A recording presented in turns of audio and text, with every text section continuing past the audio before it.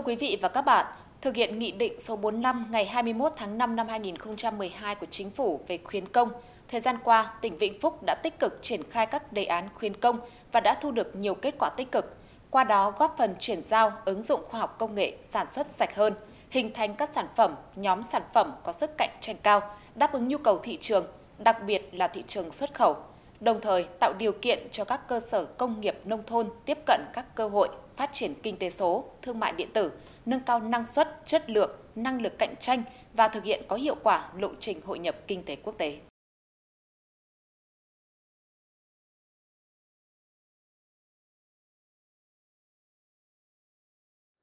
Năm 2021, được tiếp cận với 225 triệu đồng từ nguồn vốn khuyến công, công ty trách nhiệm hữu hạn bao bì Atlantic đã mạnh dạn đầu tư máy thổi màng cao tốc đầu hình xoay dung cho nhựa PE khổ 800mm với tổng kinh phí trên 900 triệu đồng.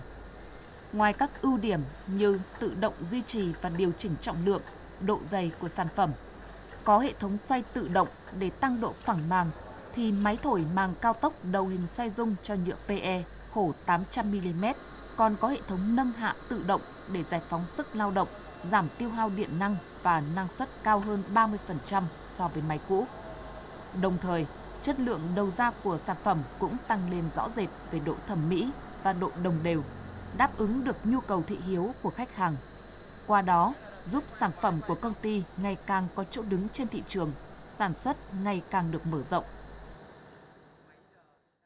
Trong cái năm à, 2021 ấy, thì chúng tôi à, cũng đã nhận được cái sự à, hỗ trợ của Trung tâm Phát triển Công thương của tỉnh Vĩnh Phúc. Thì chúng tôi cũng đã nhận được cái kinh phí đầu tư của Trung tâm Phát triển Công thương. Thì à, sau khi mà nhận được cái kinh phí à, à, của Trung tâm Phát triển Công thương thì chúng tôi cũng đã đầu tư một số các cái trang thiết bị, máy móc để đưa vào phục vụ sản xuất. Thì từ khi mà đầu tư những cái trang thiết bị, máy móc mới thì chúng tôi cũng đã nâng cao được cái năng suất, đặc biệt là cái chất lượng thì qua đó thì cũng nâng cao được cái tính cạnh tranh của sản phẩm ở trên thị trường và đồng thời là cũng tạo ra được cái công an việc làm cho các cái ờ, lao động địa phương. Cũng được tiếp cận với nguồn vốn khuyến công năm 2020, xưởng may mặc công nghiệp của anh Nguyễn Văn Tuấn, phường Đồng Tâm, thành phố Vĩnh Yên đã có cơ hội để đầu tư thêm các loại máy mới như máy may điện cao tốc và máy vắt sổ tốc độ cao Nhờ đó đã giúp xưởng may của anh Tuấn nâng cao được năng suất và chất lượng của sản phẩm, đáp ứng yêu cầu của các đơn hàng xuất khẩu tại Đông Nam Á.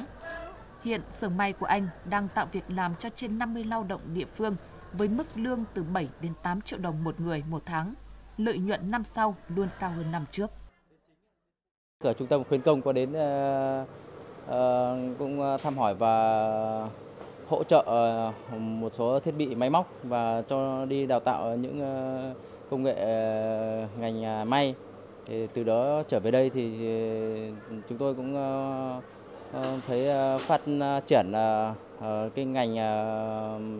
may mặc thấy những cái công công nghệ mà trung tâm khuyến công đưa đi đào tạo chúng tôi cũng làm được hàng xuất khẩu ra các nước cũng thấy chất lượng rất là tốt và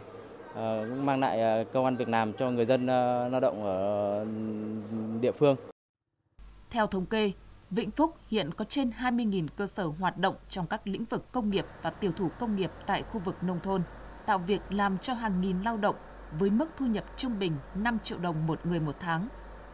Với mục tiêu giúp các doanh nghiệp, cơ sở sản xuất công nghiệp có điều kiện phát triển, Trung tâm Phát triển Công thương tỉnh đã triển khai nhiều chính sách hỗ trợ của Trung ương và tỉnh để khuyến khích các doanh nghiệp, cơ sở sản xuất đầu tư thiết bị công nghệ hiện đại. Nhờ đó, công tác khuyến công những năm gần đây trên địa bàn tỉnh đã tăng về quy mô, kinh phí và được thực hiện đều khắp trên địa bàn các huyện, thành phố. Hàng năm trong quá trình khảo sát, xây dựng kế hoạch, trung tâm luôn phối hợp chặt chẽ với phòng kinh tế, hạ tầng các huyện, thành phố, bám sát những định hướng hỗ trợ trọng tâm, ra soát đúng đối tượng để tránh lãng phí nguồn lực, ưu tiên lựa chọn những đề án có sức lan tỏa, khai thác được lợi thế của địa phương nhằm mang lại hiệu quả thiết thực. Được uh, tiếp cận thông tin từ trên cổng thông tin điện tử cùng với ờ, sự tuyên truyền của địa phương, chúng tôi đã tiếp cận được nguồn vốn khuyến công của Sở Công Thương. À, nguồn vốn này đã giúp cho doanh nghiệp chúng tôi à, đầu tư về máy móc và mở rộng sản xuất, nâng cao chất liệu hiệu quả tạo việc làm cho người lao động ở địa phương. Bên cạnh việc hỗ trợ ứng dụng máy móc, thiết bị tiên tiến vào sản xuất, nâng cao chất lượng sản phẩm, hàng năm Trung tâm Phát triển Công thương Vĩnh Phúc còn chú trọng đổi mới, đa dạng hóa các hình thức tuyên truyền chính sách khuyến công, giới thiệu kết nối các cơ sở tham gia hội nghị, hội thảo kết nối cung cầu trong nước, tham gia triển lãm sản phẩm tại các hội trợ trong và ngoài tỉnh. Qua đó, tạo cơ hội cho các doanh nghiệp giao lưu học hỏi, xúc tiến thương mại, tìm kiếm thị trường, quảng bá sản phẩm. Hàng năm thì là Trung tâm Phát triển Công thương có tổ chức những cái lớp tập huấn à, về chương trình khuyến công nằm à, hướng dẫn các à, huyện,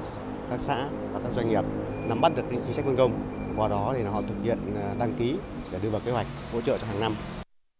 Hoạt động khuyến công tỉnh Vĩnh Phúc đã góp phần tích cực trong việc hỗ trợ các tổ chức cá nhân ổn định, mở rộng phát triển sản xuất kinh doanh,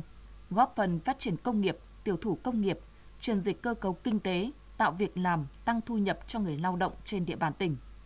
Việc triển khai thực hiện các đề án khuyến công đã kịp thời động viên khuyến khích các cơ sở công nghiệp nông thôn mạnh dạn áp dụng máy móc thiết bị tiên tiến, hiện đại và sản xuất, đổi mới, cải tiến công nghệ, nâng cao chất lượng sản phẩm, gia tăng giá trị sản phẩm, từ đó nâng cao năng lực cạnh tranh mở rộng thị trường tiêu thụ, tạo sự lan tỏa mạnh mẽ về hiệu quả của chính sách khuyến công đối với việc phát triển tiểu thủ công nghiệp nói riêng phát triển công nghiệp nói chung của tỉnh Vĩnh Phúc.